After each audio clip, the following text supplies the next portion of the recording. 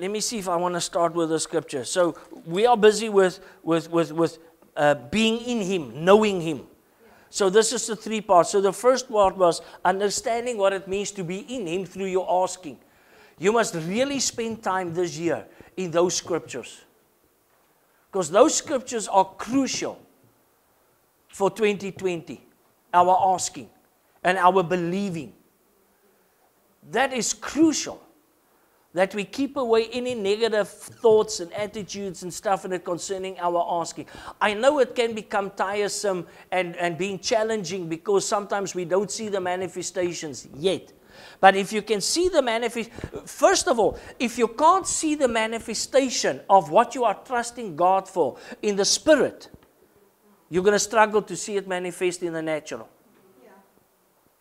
You see, the thing is, is with us is we want to see it manifest in the natural, and then we're going to say, "Oh, we believed it in the spiritual." If you cannot believe it in the spiritual and see the vision, see your breakthrough in the spiritual, you're going to struggle to see it manifest in the natural.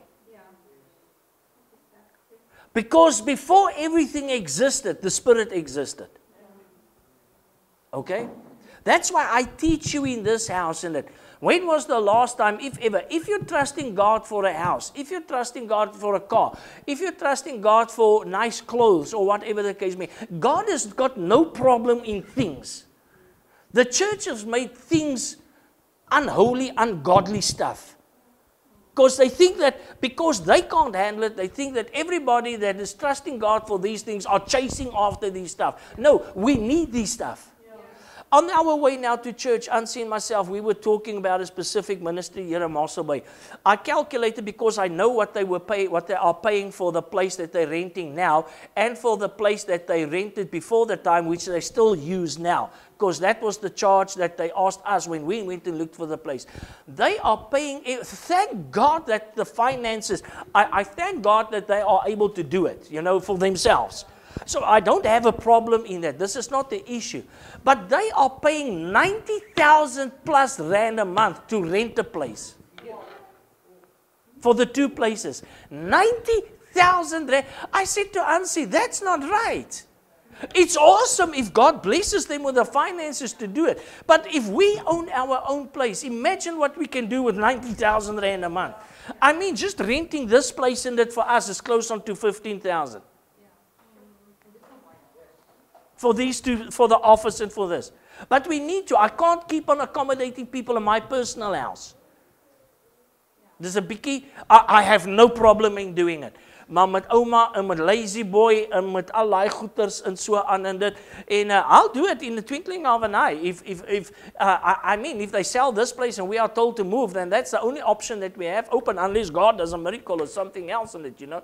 And uh, uh, so but in any case but I mean, imagine what we can do with 15,000 Rand a month if we have our own place. But you know what? I see it. I'm trusting God for it. But I'm not, no, no longer trusting God if I have to go back now with the asking thing, the first of all, understanding what it is to be in Him, is I'm not desperate anymore. Although I'm desperate, uh, uh, it sounds like a paradox now. I'm desperate for a breakthrough, but I'm not forced by my desperation. My desperation is not the controlling issue. It's my faith and my trust in God that causes me to rest in Him. But I still have a vision. I'm still trusting God. Wednesday, I was walking here and I said to, Lord, I said to God, why can't we buy this place? I haven't received any notice yet that heaven is bankrupt or as a financial deficit or is in financial problems and stuff like that. I haven't received any notice like that yet. So until I receive a notice that heaven is in financial has financial problems. I'm trusting my father for the finances because the Here weet I want to be a good father to my family and I want to help them as far as I can until they get their financial breakthroughs and stuff in it. You understand what I'm saying? So, uh, but I'm not forced by desperation anymore in that sense that it became an obsession. My desperation became an obsession. So be careful when your desperation for a breakthrough becomes an obsession. Don't let your desperation becomes an obsession that forces you.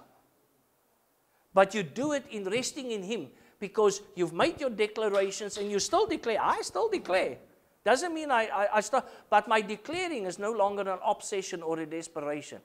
It is because of what the word says. So I declare, I say, God, this is what your word says in Deuteronomy. And I'm part of the, uh, I'm part of the seed of Abraham in Christ Jesus. Don't throw Abraham away. And this is what your word says. I will give you houses, you did, uh, uh, uh, cities you did not build. I want Mossel Bay. Porterville and Mossel Bay. Those are the two cities that you said I can have. I want them. And I want Mossel Bay. And you said you will give us houses filled with good things that we didn't even fill. I said these are promises. These are not even covenant relationship. These are promises that you gave to Abraham. Now I am in Abraham, and those promises are fulfilled in the seed of Abraham, which is Jesus Christ, which fulfilled all the promises given to Abraham. So those promises must be fulfilled in my life. That settles it. I'm no longer desperate. But I still do my declarations. So, when was the last time, if you're trusting God for a house, that you got in your car, and I'm going to challenge you on this, that you got in your car, drove around, and looked at the houses or, that you would like to? We've got two specific houses that we would like to own. Two. One of the two. But God can give us something similar in the area because God knows what we desire. So God can give us something similar in the area that we want to. But if it can be one of those two, I would be rejoicing. I would say, Oh, Jesus. Thank you so much. But every now and again, we don't do it every day, but every now and again, you know, when we come from church, I would shoot, take the slipway up and I'd drive past the, that house and I will see the sign is still up for sale, phone the owner.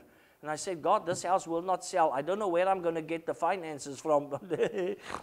but in any case, heaven is not bankrupt. You have it somewhere, somewhere. You've got it stashed. I'm going to buy lotto tickets until I know, you know. So, Lord, somehow, some way, it, it can, and for the other house that's close by where we currently live. And then I pick up books, you know, these real estate, realty uh, uh, uh, pamphlets and magazines and stuff, and I lie in bed or I sit in my office and I page through it, or I sit in front of the TV when I've got nothing to do and I page through it and I look at the houses. I don't look at the prices first. I look at the size of the house. Does it have the enough bedrooms that I want?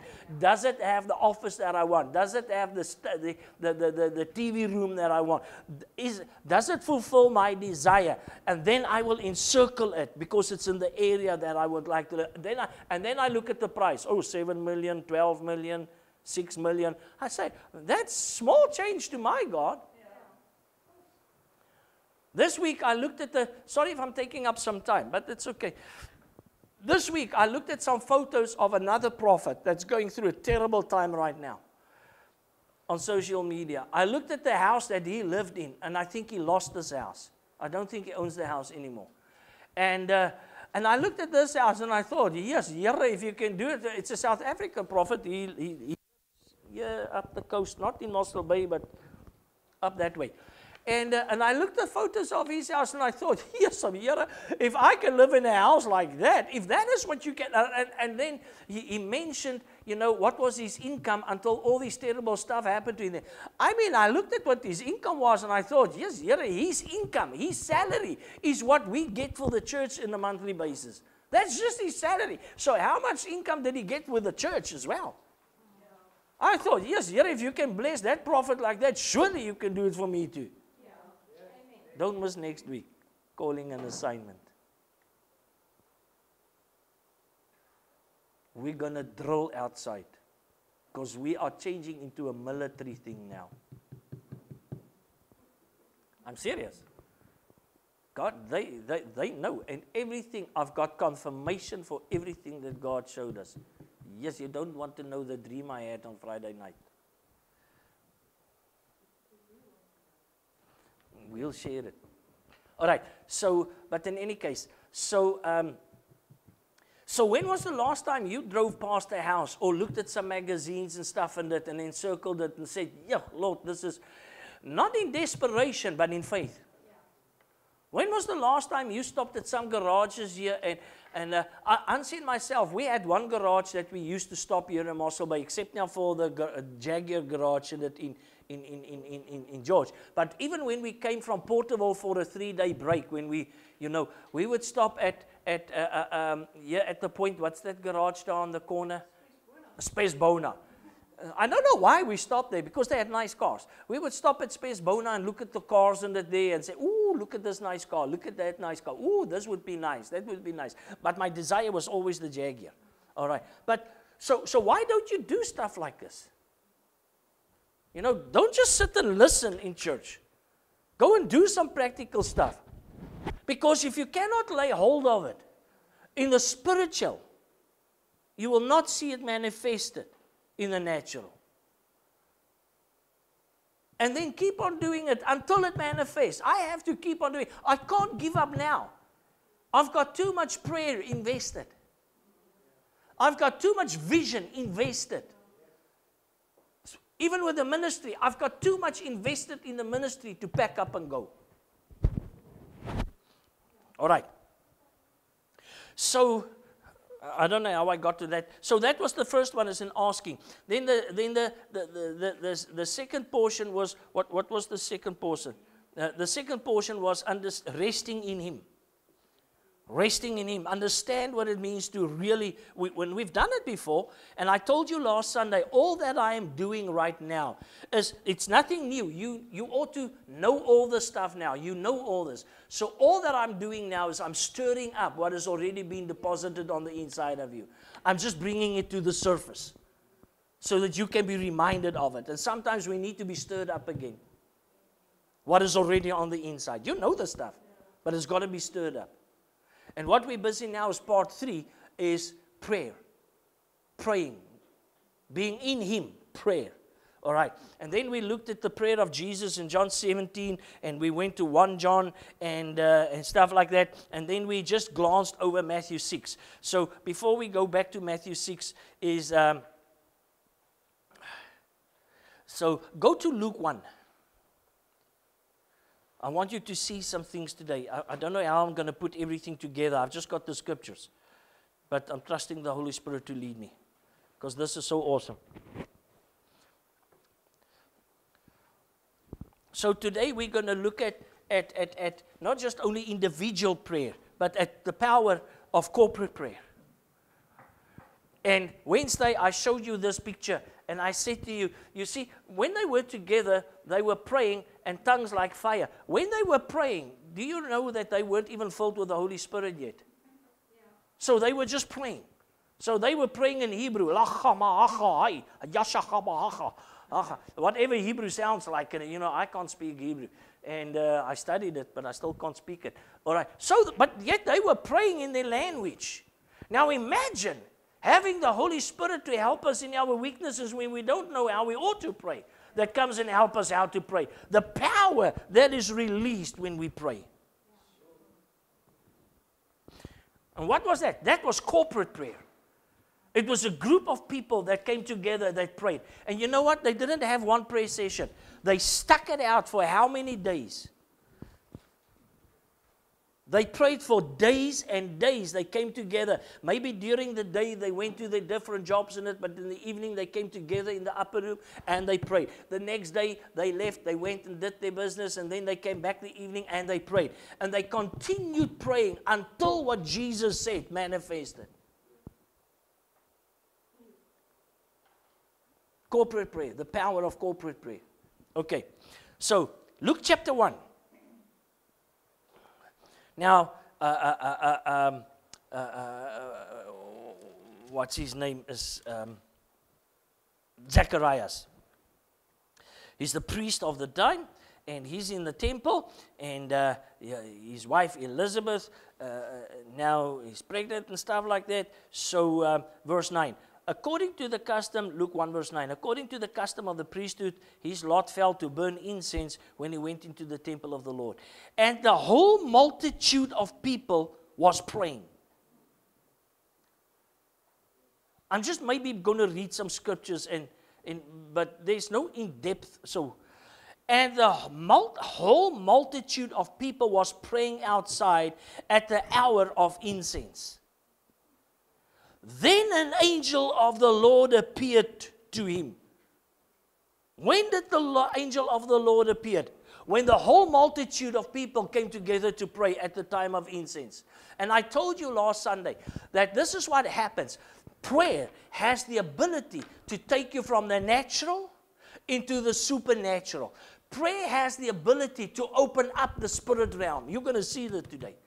Prayer has the ability, the power to open up the supernatural realm. Prayer has the power to get you from the natural into the supernatural, to get you from where you are into where He is. Now we know that He's in us, but we also know that He's around us, and we also know because He's God, He has the ability to be in heaven too. He's omnipresent. So prayer has that ability, and I'm going to say it again, to get you from the natural into the supernatural, to get you from where you are to where He is. Also, the opposite. Prayer has the ability to bring the supernatural down into the natural. It also has the ability to have His glory in the super to be manifested where you are in you. That's the power of prayer. So, why won't we pray? I'm challenging myself. So, why won't we pray? So why would we make statements and say that it doesn't work or how long or whatever and that and I know we grow tired. I grow tired too when I say to the Lord, Ach Here, how long? And then I sing that awesome gospel song and that, that we used to sing in the Afrikaans church. Hoe lank, hoe lank voor ons uitroep met dank. Eh, you know, druppeltjies maak ons reeds dankbaar, maar Here, die behoefte is groot. You know, if you come out of the Pentecostal church. All right. So now listen to this.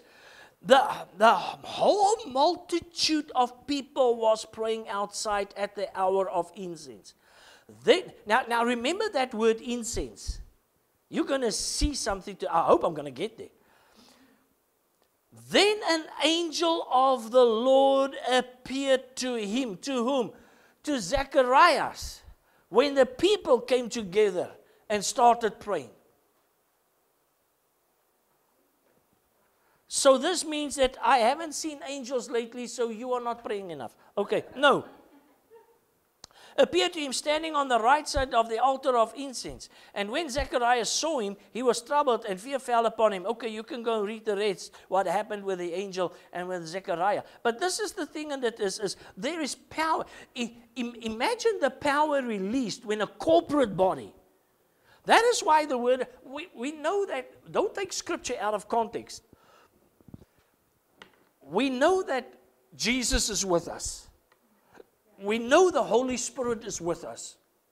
Never mind in us, with us. We know the Father is with us.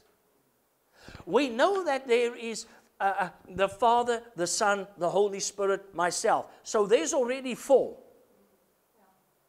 But imagine what the word says when the word says, where two or three are gathered in my name. So imagine it's me and the Holy Spirit. It's already two. Imagine it's me, the Holy Spirit, and Jesus. It's already three. Imagine it's me, the Holy Spirit, and Jesus, and the Father. It's already four. Imagine the power that is released when two or three are gathered in His name. So imagine the power that can be released when a corporate body of five, six, seven, eight, nine, ten people more can come together and start lifting their voices and start making a sound.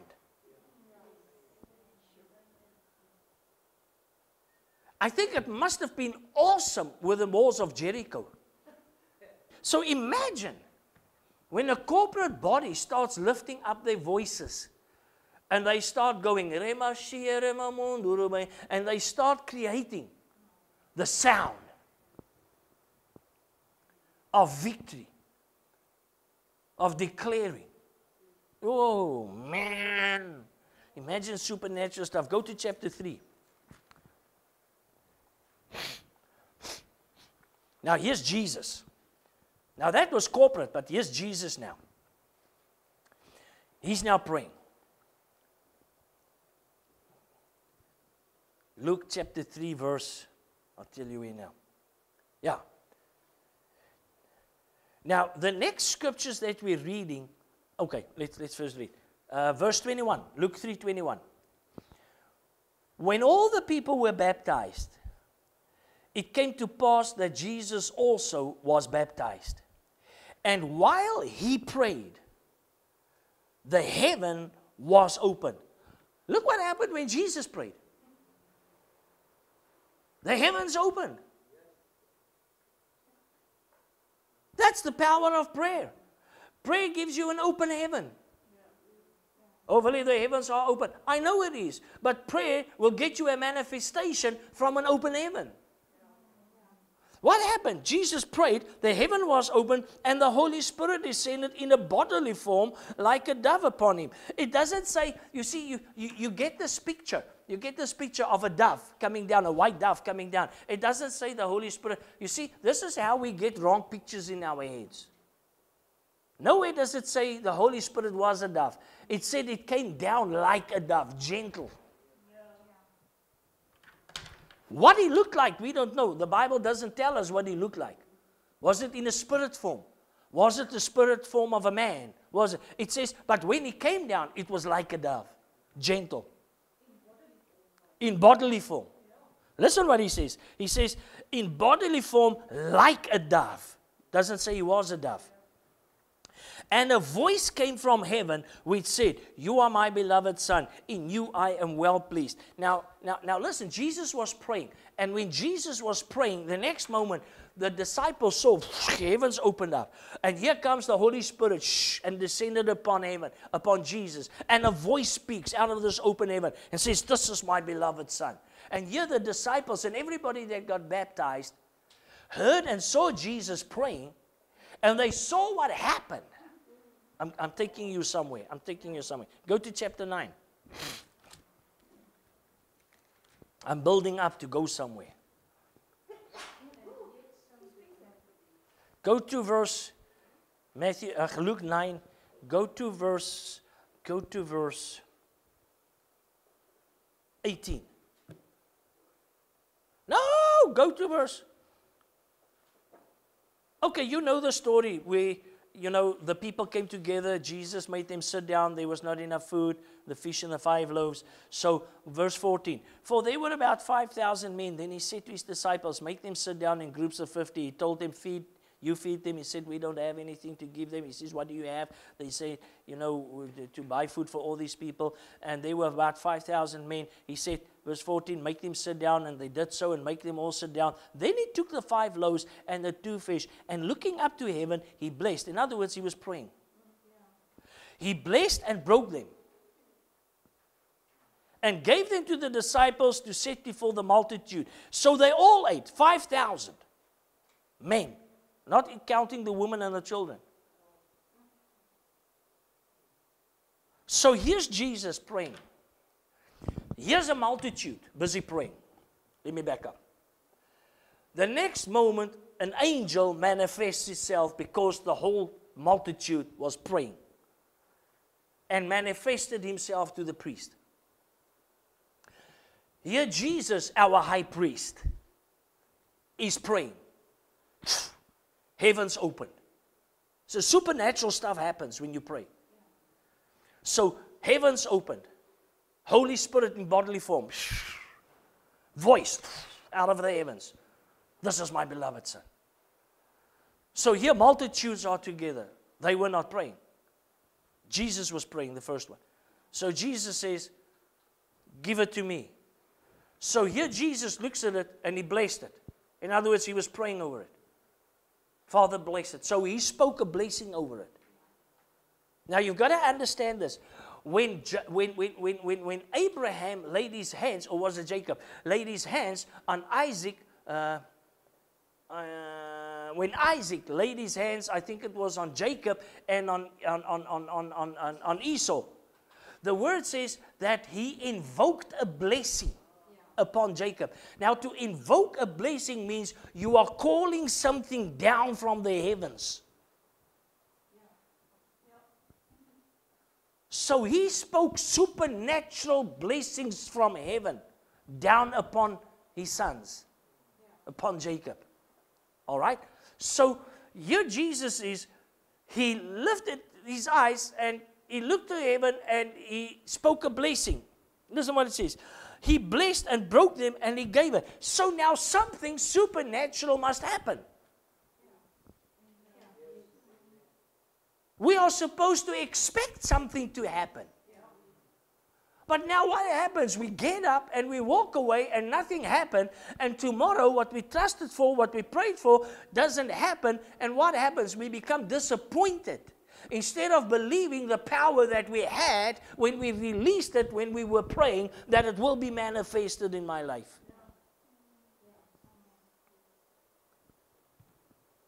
So now we give up on our prayers.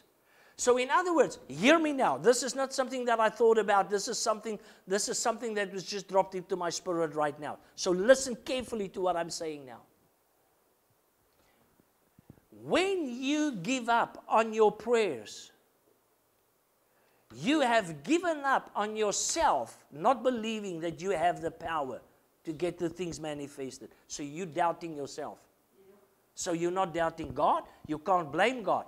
When you begin to speak about not seeing the manifestation of what you've prayed for and what you're trusting God for, it means that you are doubting the very power that is supposed to be operating in you. You're doubting yourself. For you will receive power. So you're doubting yourself.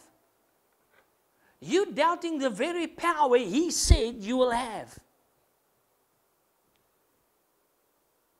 Ouch. Me too, ouch.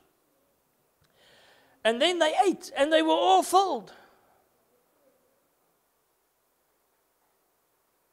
Go back to Luke 9. There, I missed it.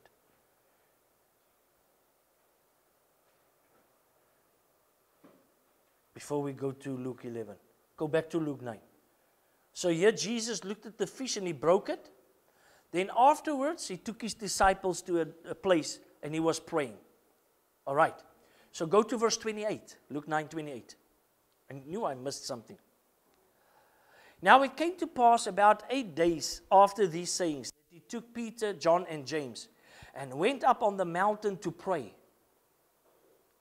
As he prayed, the appearance of his face was altered.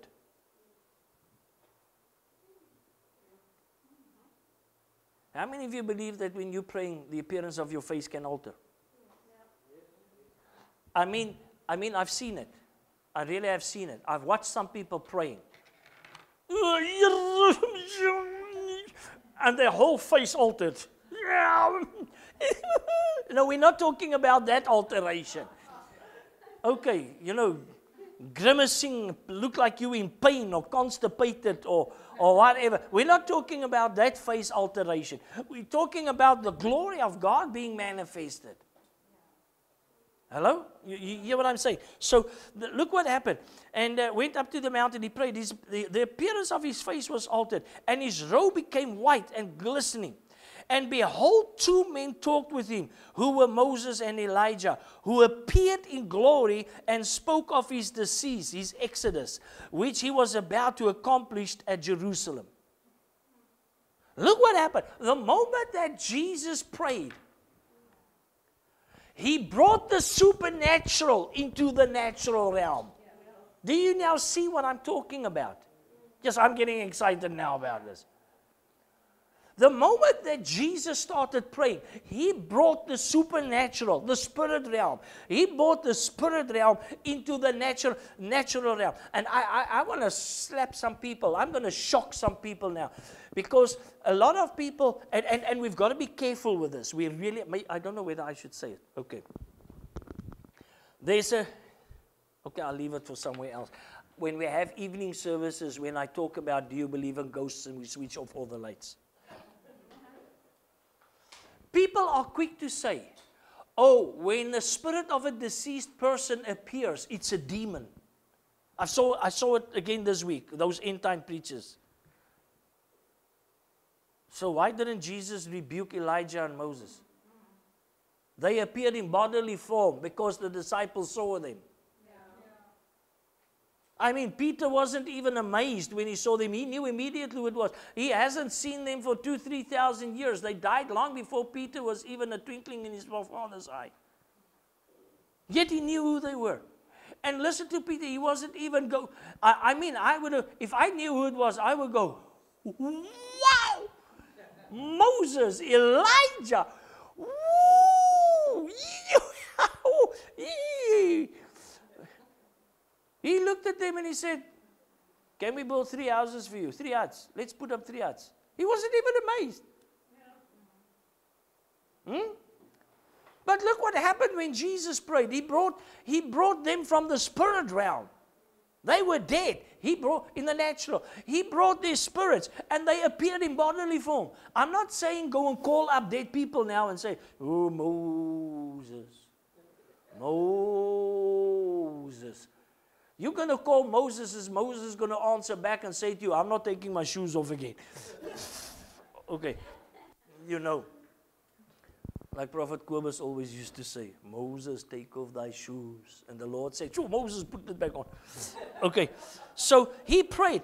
And verse 31 who appeared in glory and spoke of his decease, his exodus, not his dying, his exodus, his leaving, which he was about to accomplish at Jerusalem.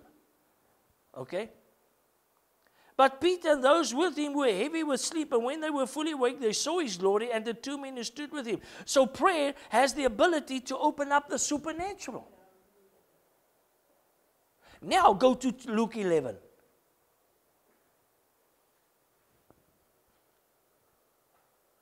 Verse 1. So keep your finger there, then go to Luke, Matthew 6. I think it's much nicer in Matthew 6. Then go to Matthew 6. We're going to read Luke 9. And then we're going to jump right back to Matthew 6.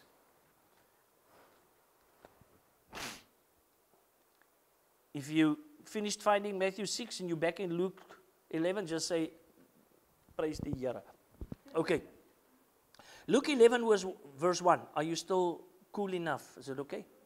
Okay. Now it came to pass as he was praying in a certain place.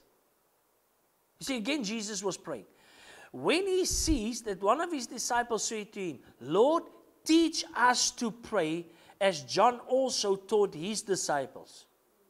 So Jesus teach us how to pray. Okay?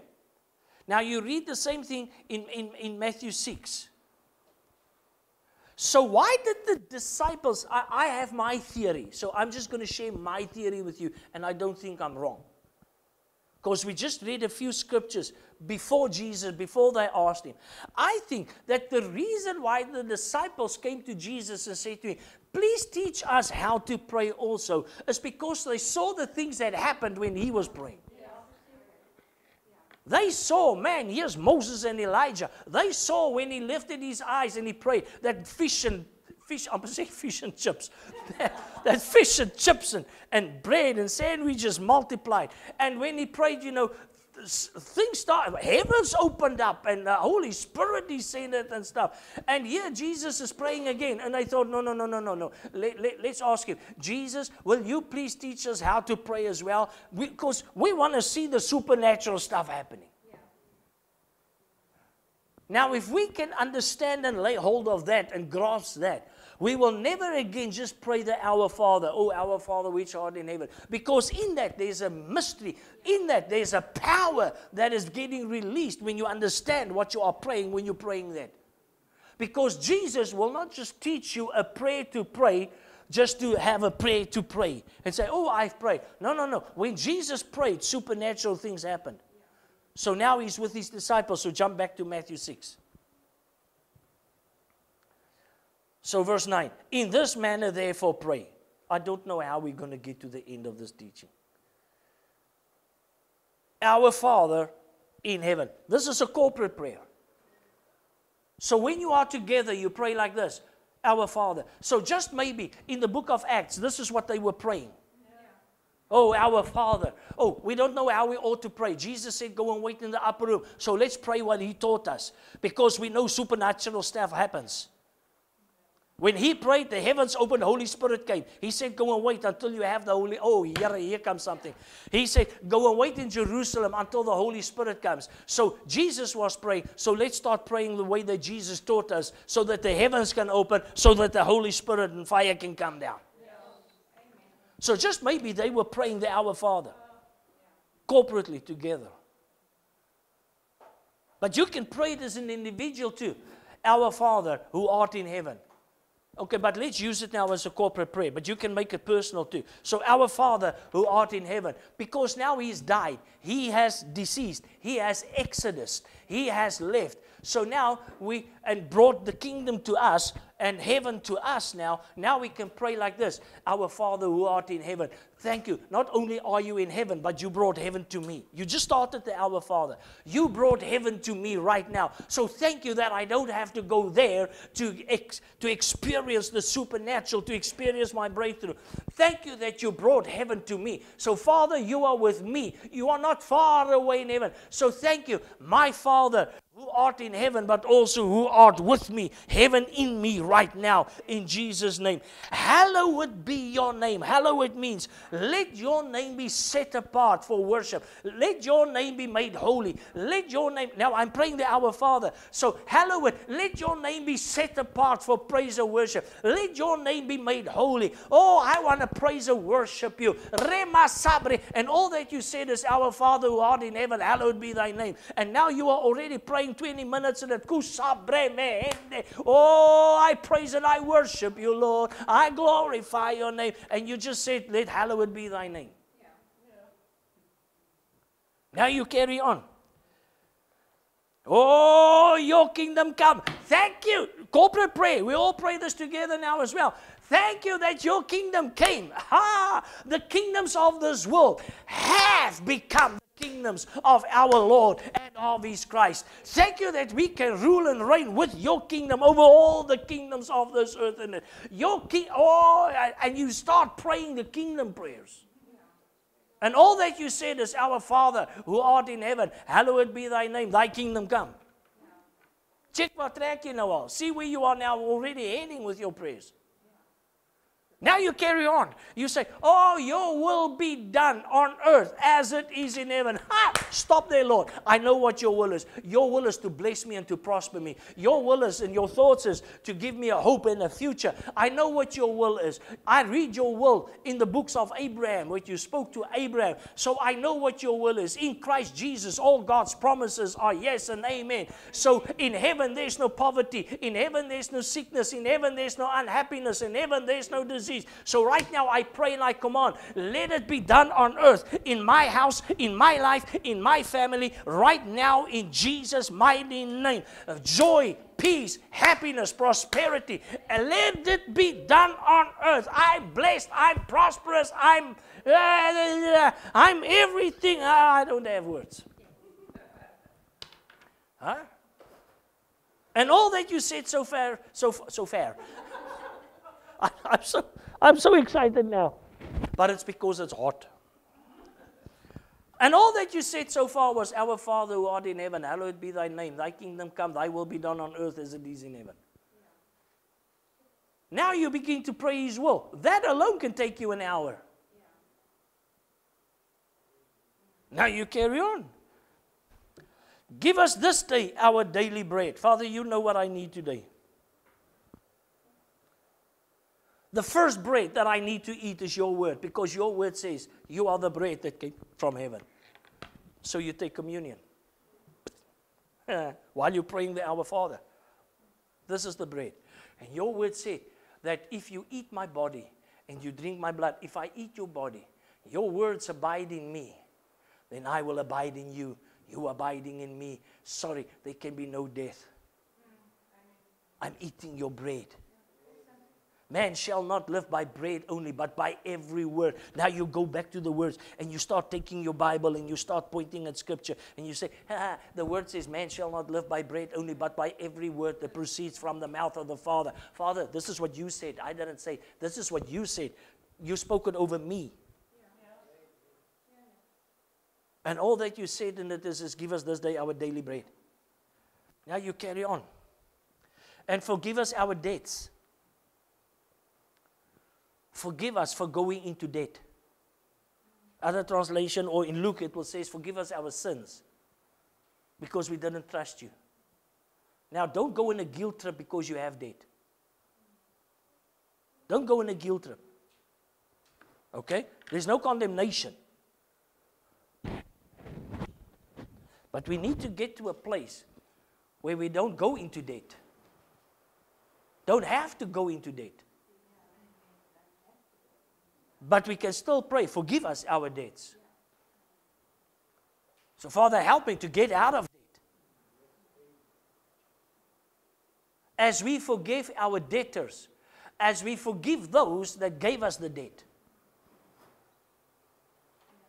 Have you seen how easy it is to go into debt today?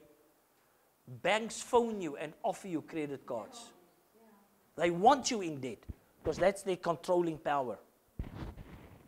So you fall for a world system. When the word says, do not be conformed to this world and its way of doing things. Hello? Let's carry on. But don't go, there's no condemnation. I'm not condemning you. If you have debt, start praying this and trust God to get you out of it and start trusting God to give you the finances to, to start paying it back so that you can get out of debt. And then don't try not to go back into debt again. I hear everybody say, Oh, I want to be debt free. I want to be debt free. I don't. Now, don't shoot me down now. You think now this sounds like double mindedness. No, a lot of people, oh, I want to be debt free. I don't want to be debt free. Because when you're debt free, it means you still don't owe anything, you just don't have debt. Do you know how many tramps and boemelaars and bums and stuff are on the street in that, that are debt free? How about getting wealthy? I want to prosper. I don't just want to be debt free. Debt freedom means I still cannot afford some stuff. I want to go to overflow. Thank you. I want to go to more than enough. I want to go to good measures, pressed down, shaken together, running over man will be put into my bosom. Man, I, I want to get to a place in it where I look at the stuff and I say, hey, these are the leftovers. I can't build more storehouses. I mean, I've got money in First National, I've got money in Standard, I've got money in Nedbank, I've got money in Capitec, I've got money in Bidvest, I've got money. There are no more banks in Mossel Bay that I can bank my money in. I've got too much money. I mean, I can't even sleep well at night because my mattress is so uneven, you know, because of all the money that's underneath the mattress. If you cannot see it in the spirit realm, it will not be manifested in the natural.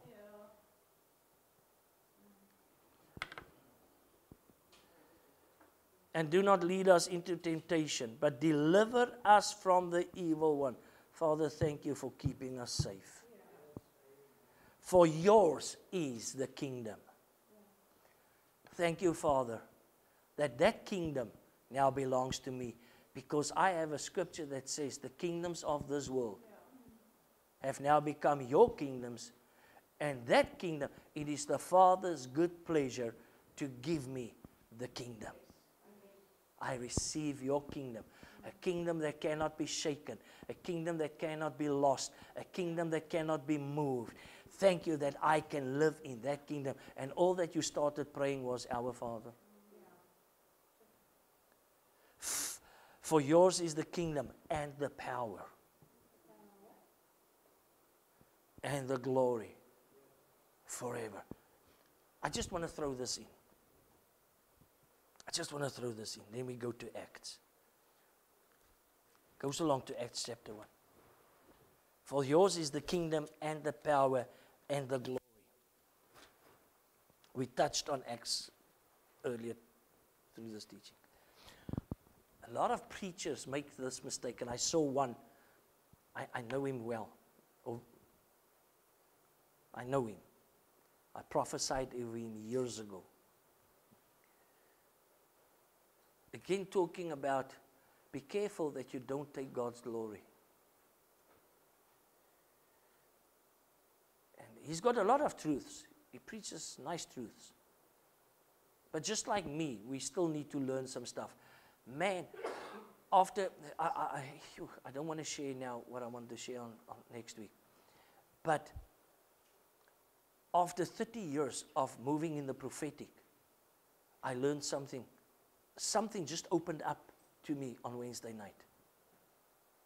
Yuck, it's something hit me. And I thought, thank you, God, that I still don't know everything. Just because God revealed some stuff to me last week. Awesome. It's going to be challenging.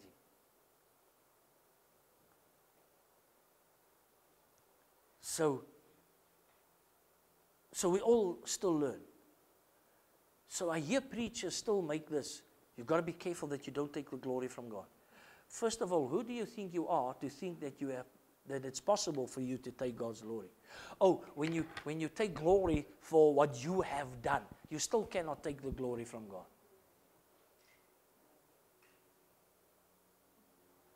The word says that he gave us his glory. Go and check your scriptures. It says that he will not share his glory with another. If you go and read the context of that scripture, it means he will not share his glory with other idols, with other gods. He will share it with you. So you are a carrier of his glory. He already gave his glory to you. So who do you think you are to say? No, don't stop saying, "Oh, don't take the glory from God." Go and manifest his glory. You see, we, we use wrong words. What we actually should, should say there is be careful that you become not become so prideful that you think it was you that did it.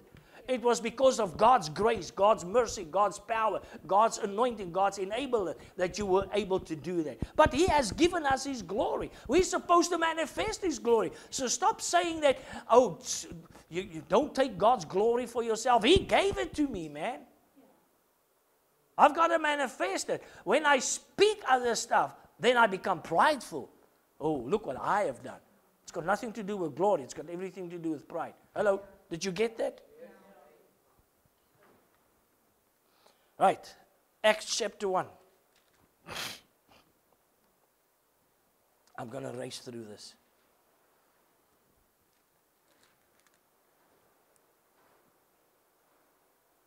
Verse 13. Now, when they had entered, they went up into the upper room. Now, just stop there.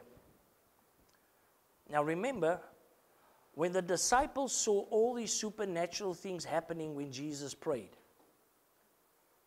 they came to him and they said to him, Teach us how to pray.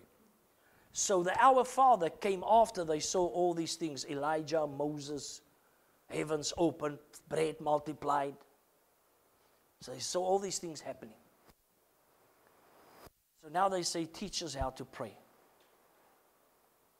So now Jesus gives them the power, the ability to pray. They haven't received the Holy Spirit yet. So now, before he ascended, he said to them, Go and wait in the upper room until you've received power from on high. So now they all came together in the upper room. Verse 30. They went up into the upper room where they were staying Peter, James, John, and all the others. And, and, and, and, and, and. Verse 14. These all continued with one accord in prayer. See, here we're back with the corporate prayer again. They were all together with one accord in unity, in prayer and supplication with a woman and Mary, the mother of Jesus, and with his brothers. Now, and in those days, Peter stood up in the midst of the disciples. Altogether, number of names was about uh, uh, uh, 120 and said, and then he said a lot of things. Now, jump down to chapter 2, verse 1. When the day of Pentecost, so now they kept on praying. So just maybe, listen to me now. I said it before. So just maybe, looking at this picture behind me, they were all in one accord, busy praying. They weren't filled with the Holy Spirit yet, so they were not praying in tongues. So just maybe they were praying the Our Father because Jesus taught them how to pray. So just maybe they were praying the Our Father. And they kept on praying and they kept on praying because they had a promise. They didn't stop until they saw the manifestation of the supernatural. So they kept on praying. So when the day of Pentecost had fully come, they were all with one accord in one place. And suddenly there came a sound from heaven. Look what happens begin to pray in unity. And even when you begin to pray in unity with the Word, we can make it individually as well. When you stand in unity with the Word, not with your feelings, hear me this morning. I'm desperate. I'm not here because I want a big church. I'm here because God has called me to equip you. I want to see, I don't want to see you fail. I want to see the people that God has placed me over. I want to see them step out in victory. I want to see them break through. I want to see them get what God has promised, man. That to me is the biggest joy, is to see people, man, hit the devil and keep him down and walk in power and victory. So hear me. Don't go with your feelings. We don't deny the feelings. We have feelings. The weet, many times I want to give up because I feel like that. But here they were in one accord. So when you come in line with the word, you get into one accord with what his word says. And you begin to pray in one accord with what his word says, not what your feeling tells you. Because feelings cannot always be trusted. So when you start praying what your feelings tell you to pray, now they can be good feelings.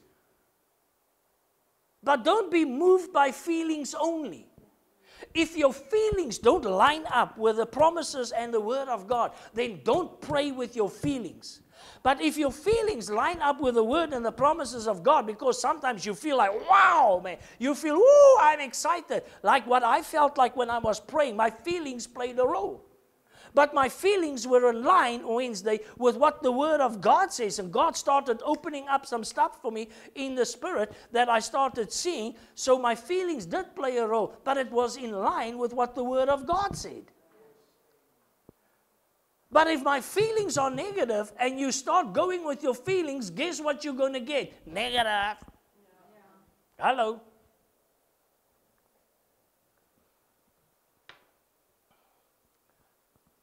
They all continued in one accord. So get into one accord with what the promises of God say.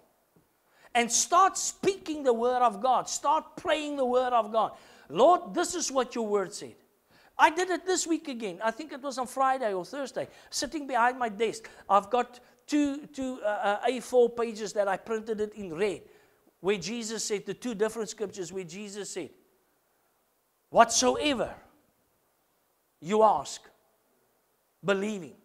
And the other one, whatsoever you ask in my name, desire. Whatsoever you desire. I said, I didn't say it, you said it. I said, These are my desires. I've got it on my board. I said, That house, that house, that, uh, that building. I said, These are my desires. And your word says, My feeling is, Here. I don't know anymore. But I'm in one accord with the word. I say, This is what your word says. And I point at it. It's on my whiteboard. And I face it. I say, This is what your word says. Not what my feeling says. And somehow, someway, I'm going to see the manifestation of it. I just don't, this is the mystery. I just don't know when. That's the mystery. But I rest in this. You do.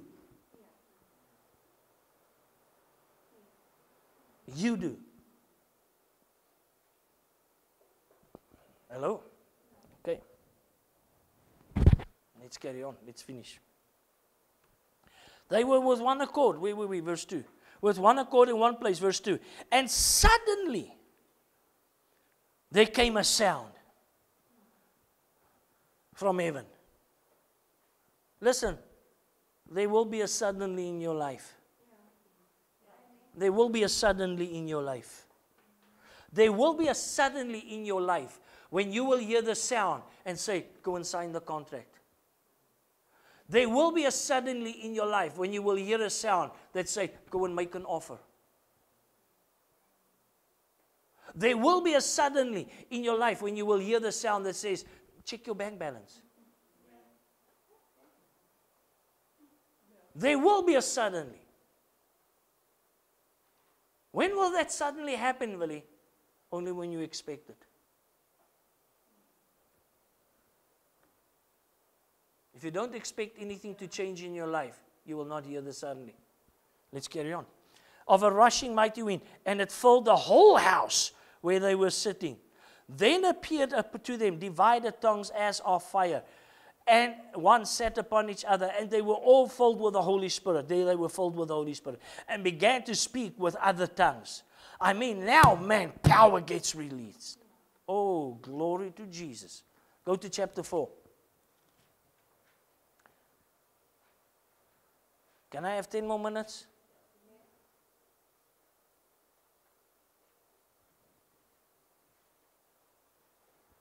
Matthew, uh, Acts 4, chapter uh, uh, 4, verse 23. And being let go, they went to their own companions and reported all that the chief priests and elders had said to them. So when they heard that, they raised their voice to God with one accord and said, Lord, you are God, who made heaven and earth and the sea and all that is in them.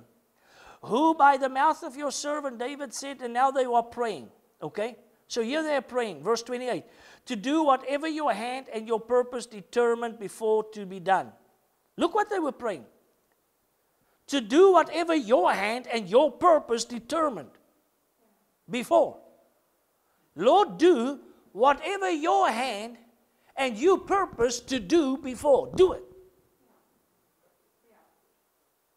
Now, if we want to God to do what He purposed before, we need to start at Genesis. What was His purpose? And He blessed him. Yeah. Now do what you purpose to do. That was their prayer. You will lay hands on the sick.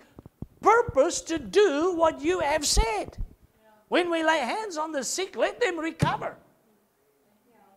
You shall declare a thing and it shall be established. Purpose to do what you have said you're going to do. Do it. In my name, you will cast out demons. Purpose to do what you have said. Let it happen. Are you getting this? What are they praying it? Verse 29 Now, Lord, look on their threats and grant your service that they, all, with all boldness, they may speak. Verse 30 By stretching out your hand to heal. But who lays hands on the people? You do, I do, without voodoo. We don't do voodoo, but you do. And I do what He told us to do. And when we lay hands on people, it is like stretching out your hand because he said, You go and lay hands on the sick. He didn't say, Wait for me to touch him. He said, You go and lay hands on it. You anoint him with, Well, I've given you all authority in it now. So when you do it, you pray. You say, Father, as I lay my hands now, stretch out your hand through my hand. Thank you that as I touch this person, you are touching this person in Jesus' mighty name. That's why I say to people, when I lay hands on you, when I walk away, you better be healed because I believe you are. Now it's up to you to go and believe it and start declaring it and say, No, no, no, no, no, no. Lord, you remember those days? So and so and so date, hands were laid upon me. I believe that I was touched because, as that person, as a servant of Almighty God, laid hands on me, you commanded that person, they will lay hands upon the sick. And they said, Lord, stretch out your hands. So, through their hands, you laid hands on me. So, Father, according to your word, let it be purposed in my body. What is the purpose in my body? I'm healed in Jesus' name. Come on, I'm teaching you how to pray. Verse 31 And when they had prayed, the place where they were assembled together was shaken. Once again, something supernatural happened. And they were all filled with the Holy Spirit again. You can never stop being full. Oh, we know the Holy Spirit came.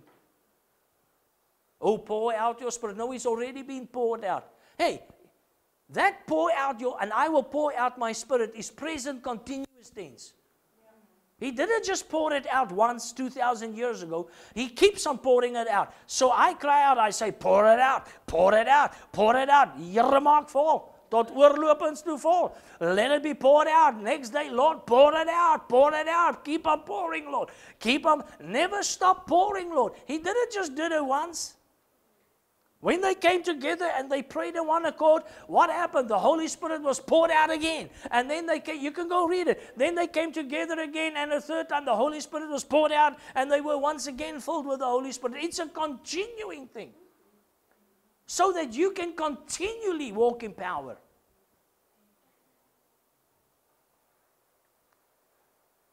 Let's just read three or four more scriptures quickly. And then I want to end with these two scriptures. Go to Ephesians 6.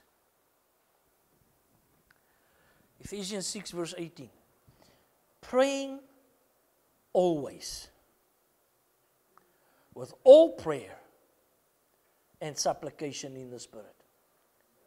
All prayer. All the, I mean, if you pray the Our Father, you've prayed basically all the prayers you can pray. Declare it, call in, worship, praise His name being watchful to this end with all perseverance and supplication for all the saints.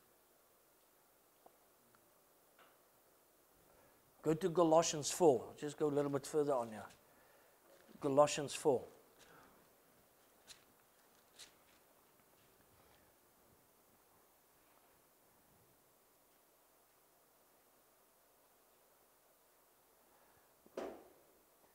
Verse 1 Masters, give your bond servants what is just and fair, knowing that you also have a master in heaven. Continue earnestly in prayer. Give vigilant in it with thanksgiving. Meanwhile, praying also for us. Now, now get this. Meanwhile, praying also for us. So this is like me asking you, keep on praying for us. Keep on praying for me. Keep on praying for us. Listen to this.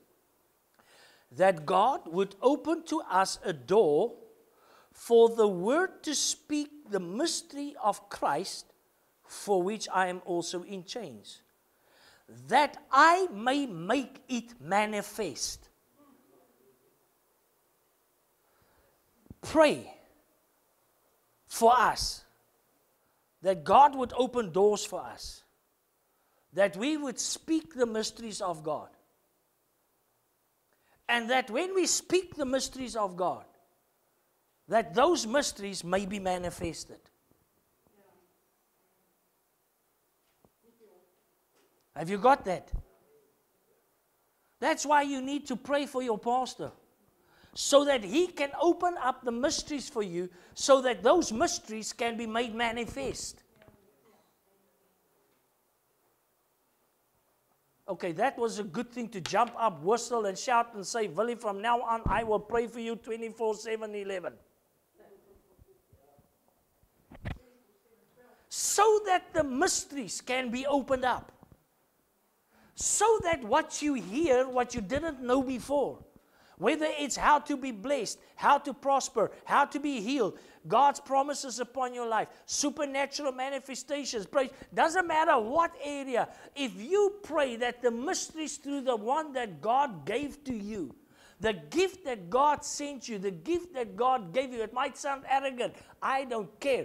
But prophets, apostles, teachers, evangelists, and pastors, they are gifts to you so that the mysteries of heaven can be opened up, so that you can get to that level where you can see the manifestation of the things that you didn't know were supposed to be yours. It must be manifested in your life. How do I get it? Really? Prayer. But you see, we've, we've, we've cultivated a an attitude of, of, of criticism. Die pastoor preek te lank. But what you don't understand is he's opening up mysteries to you so that it can be a manifestation for you. Now he's preaching too long. Now he's shouting too loud. Now he's too direct. And if you don't like him to be direct, then go to that other insurance company and go and dial direct.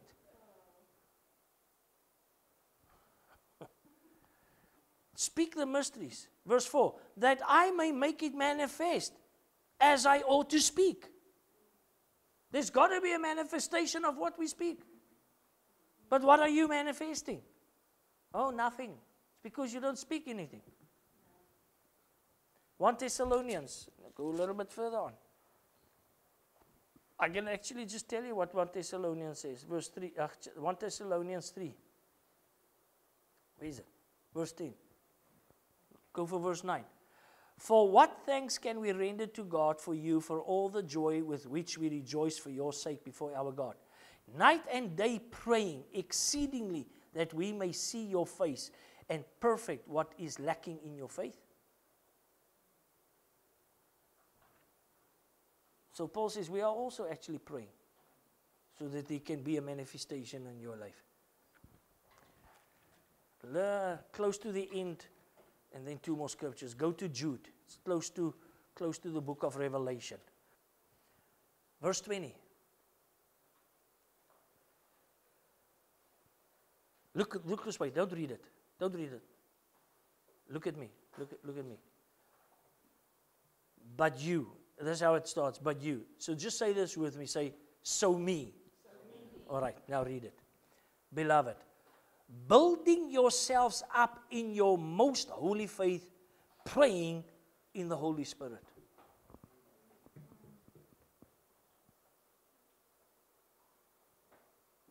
Ek is moederloos. Okay, uh, sorry, no. Ek is moederloos. Not motherless. Ek is moederloos. Ek weet nie meer nie. Ek kan nie meer nie. No, beloved, what does it say? Build yourself up in your most holy faith.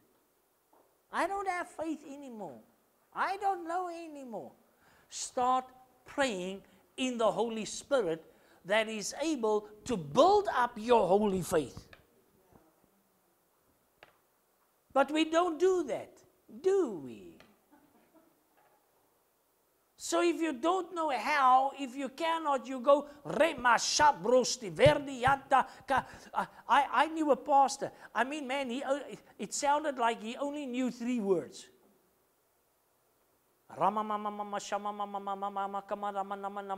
It sounds like he stutters. But you know what? When he started praying, I won't mention names because I don't want to, you know, but it was in Pretoria at a big church. But you know, when he opened his mouth and just those little words that he said, I mean, you should be able to pray a vocabulary. You should be able to pray a few sentences. But I mean, there was an anointing on him because when you open your mouth and you start praying in the Spirit, it's the Holy Spirit. So it doesn't matter whether you just go shama mama, shama mama, shama mama. If you believe that that is what the Holy Spirit gave you, then you pray it and you speak it and something happens. What happens? You build yourself up. I mean, man, when he started praying like that, you could sense that there's something in the air. Something in the air. You can feel it. every- Okay, sorry, I'm getting distracted. now. But, but that is what happened when he started praying. So why wouldn't you pray in tongues? Come on, I'm challenging everyone sitting under my voice right now, and even you watching this DVD or, or, or, or on YouTube or whatever. If we understand the power of prayer, why don't we pray in tongues? Why don't we pray the words of Almighty God? Why don't we declare this stuff until there's a manifestation?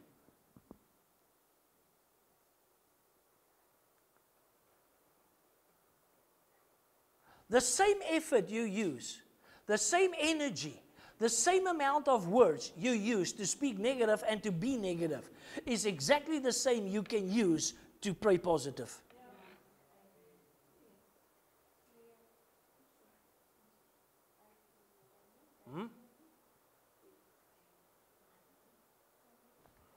So let's finish. Praying in the Holy Spirit. Keep yourselves in the love of God. That's one scripture we miss. Keep yourselves in the love of God, looking for the mercy of our Lord Christ unto eternal life. We've got to walk in love. Doesn't mean I agree with everything you do and you say. We all have to work on that area. Right, last two scriptures. Go to James. Now that's just back from Jude again. Go to James. We know this one. But let's do it. Okay, look this way. Honestly now, How many of you have gone through some sufferings? Now, sufferings is not just, you know, persecution and disease and pain and sickness. I mean, suffering is also when you don't have enough. Suffering is when you're not happy. Suffering, so suffering encompasses a lot of stuff where you don't manifest the fruit of the spirit or the or the breakthroughs or the stuff. So how many of you have gone through some sufferings? Okay. How many of you have asked people to pray for you when times are difficult? Would you please pray with me? Okay, can we shoot that holy cow? Verse 13. Is anyone among you suffering? Let him pray.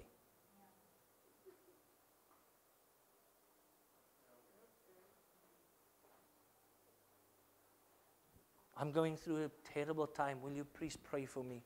No, you go and pray. There's a difference when I stand in agreement with you while you are praying. I'll stand in agreement with you. Father, give strength, help. But when you suffer, you pray. You see, we look for an easy way out.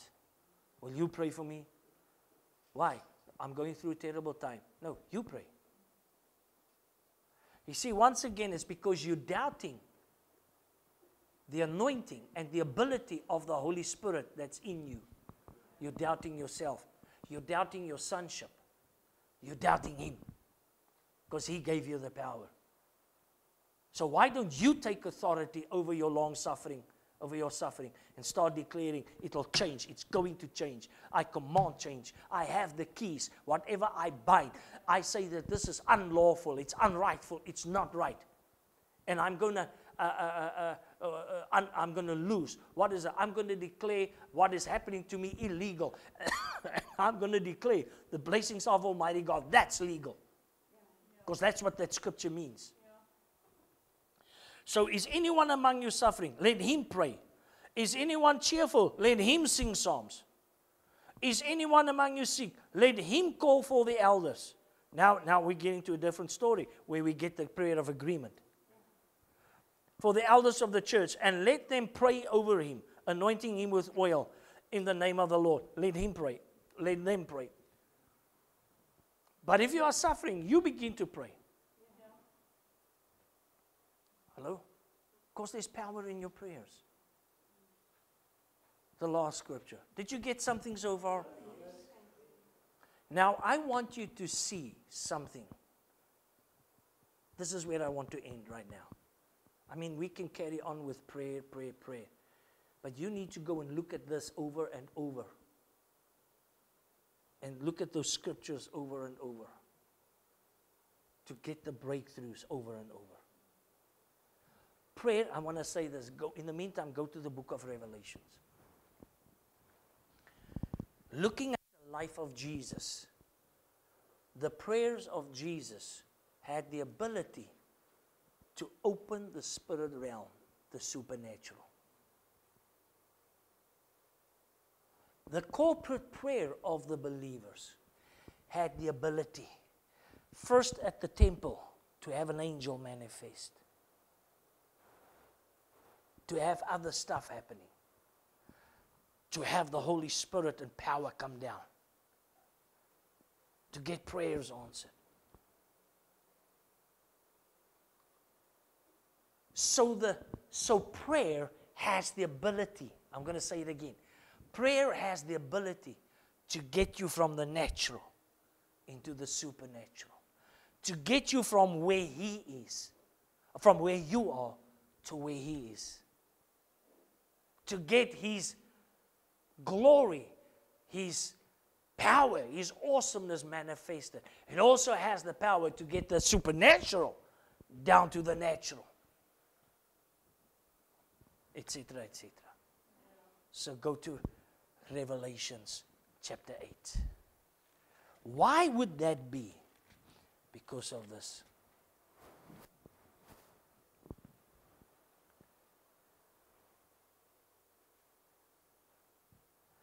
Now remember, when Zechariah was the priest of that day, he was getting ready at the altar of incense.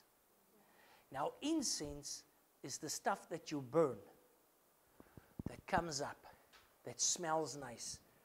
And the Bible teaches us, I think it's in, it's in Corinthians, that it teaches us that a, a sweet smelling aroma, we carry that sweet smelling aroma. What has that got to do with prayer? So glad you asked me that question, Louise. Now remember what happened when the priest was at the altar of incense and the people started praying. What happened? The angel appeared at the altar of incense. There's, there's a hidden mystery there. Chapter 8. When he opened the seventh seal, there was silence in heaven for about half an hour. So that's proof for half an hour there will be no woman in heaven. Okay. That's a joke. Okay, no. And I saw the seven angels who stood before God, and to them were given seven trumpets. Then another angel, now get this, here we go, having a golden censer, came and stood at the altar. He was given much incense that he should offer. Now, now get this that he should offer it with the prayers of all the saints upon the golden altar which was before the throne. I want you to hear what your prayer does. Let's carry on. And the smoke of the incense with the prayer of the saints ascended before God from the angel's hand. Then the angel took the censer, filled it with fire from the altar, threw it to the earth, and there were noises, thunderings, lightnings, and earthquake. So the seven angels had the seven trumpets prepared themselves to sound. I'm seeing something that I didn't see before. So the moment that you begin to pray, angels are ready to gather your prayers and then get them with the incense, the sweet smelling anointing oil, and pour it out on the altar of incense, which is before the throne. And when that is done, the angels then take that smelling offering with your prayers and throw it down to earth, which leads to supernatural manifestations. Like lightning and thunder. That's what your prayers do. It brings angels on the scene. And what happens? There's a sound. When it talks about the seven angels with the seven trumpets, it doesn't mean, and we get this picture, and this is how we get indoctrinated with wrong doctrines and teachings and stuff. Our children's Bible and stuff have angels standing there with those long trumpets and go, uh, and shh. No, the word for trumpet there means like a voice. So they were making announcements. So while you are blowing trumpets on this earth by through the voice, through your prayers, you are making sounds. What happens? Angels are scooping it up and say, "Let's get it on the altar of incense, man." And they throw it out on the altar of incense with the incense, and it fills the throne room with a sweet smelling sacrifice, aromas. And then the angels take that and they throw it down back onto the earth, and there's a sound, and there's lightning and thunder, and your prayers takes you into the super supernatural throne room of God. And it brings the throne room of God, the supernatural from there, to be manifested on this earth. That's your prayers. So, why wouldn't we pray? It's because we don't understand what truly happens in the spirit realm when we begin to say, My Father.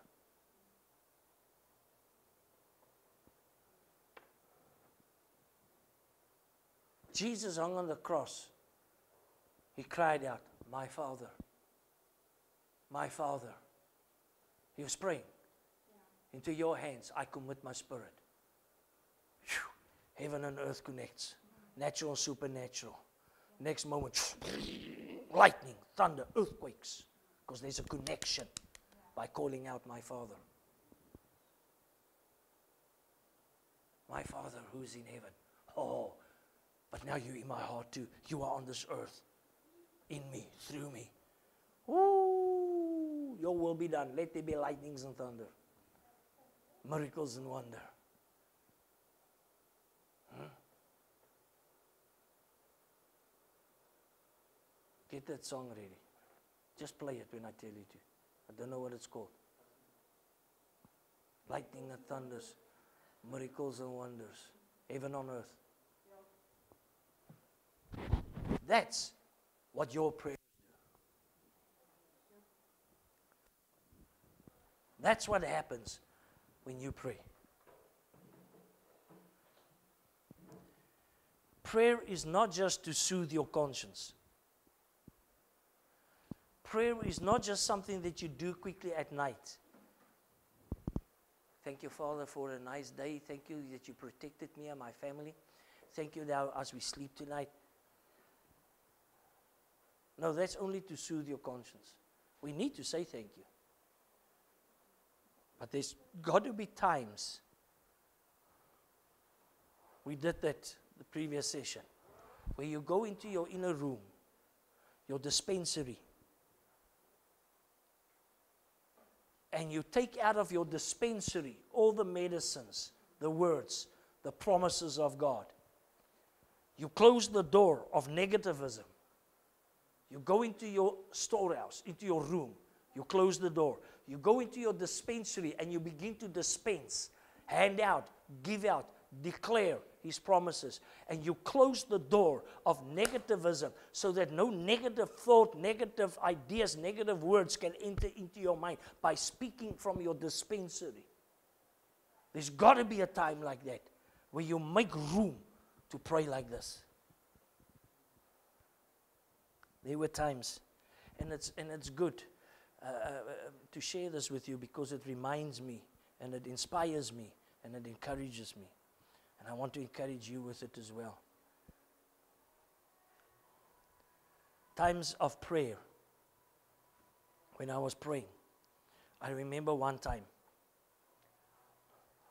I, uh, I was lying on my stomach years ago. I was lying on my stomach and I was just crying out to God. Not for something specific, just your presence. And the next moment, I felt two arms, two hands, one coming under my chest and the other one under my. Uh, yeah, no, not thighs, the top of my legs, between my knees and my hips. And the next moment, I was lifted up from the floor, about this high, about 30 centimeters. And I'm just lying like this, and I'm levitating, and I'm busy praying. I'll take you to the very place. It's a house in Parow. Never forget this. And I was praying.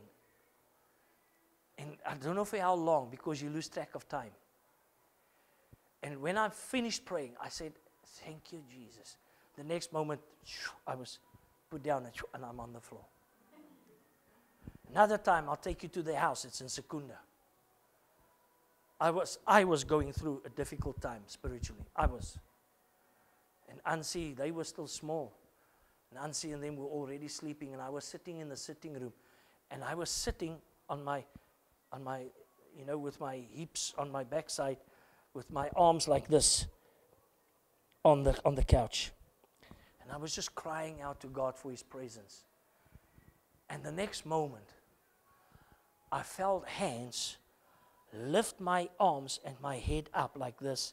It's like someone that wants to sit down, but you're in the way And lift my arms and sat down and placed my arms and my head on a lap. And I immediately knew it was Jesus. You just know. And while I was just sighing, I didn't even say a lot. I was just more like, and it's like his hand was doing this over my head, just comforting me. And without any words, I knew he was saying, It's going to be okay. But just that presence. And another time, I started praying. I was kneeling. I, I started, and I was, you know, on my knees, you know, with a couch, my elbows like this. And I was just going, Shumahame. And I stopped and I said, Whoa, whoa, whoa. I said, I looked up. I said, Angels. Who knows the presence of God better than you that have 24 seven, nine, three hundred, and what? I, I mean, you are constantly in His presence. You have access to His presence. Who understands His presence more than you? I said, any angels that are with me right now, I invite you, come and pray with me. I invite you, come and pray with me. And then I closed my eyes. I invited them. They must show up. I closed my eyes and I started going, Oh, Rama. I said, Help me, help me. And I made as though there's an angel next to me on my left and uh, on my right and an angel on my left. So I went to the angel. I said, Come on, help me, worship me, get me there. I said, Come on, help me, worship me, get me there. And I, by faith, I closed, I said, Oh, Rama. And the next moment, I felt two presents knelt next to me, right next to me, and I could feel how the cushions, you know, how your elbows makes imprints. I could feel how the cushions. And man, the next moment I was going. I didn't hear them. I didn't open my eyes to look. I didn't want to, but I knew they were there. I could feel them. They were right next to me. And the next moment, it was like my prayer was lifted up to a higher level, and I was going, ooh, shabrosi man. And I and at one stage in it, I just opened my eyes. I couldn't see them, but I knew they were there. And I waited and I said, Go for it, go for it. And they say, Help me, help me, help me. I said, Oh, this is like, oh, shit, until I finished. And the next moment, you could sense the cushions go, and they're gone. Some accountants like that. Now, why wouldn't we pray? Now, we don't always have these encounters, but we can. But we don't always. But whether we have those manifestations or not, we still do it by faith.